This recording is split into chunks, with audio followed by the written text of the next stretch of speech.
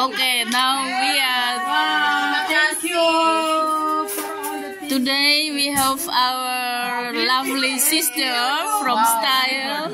We will enjoy these things very delicious.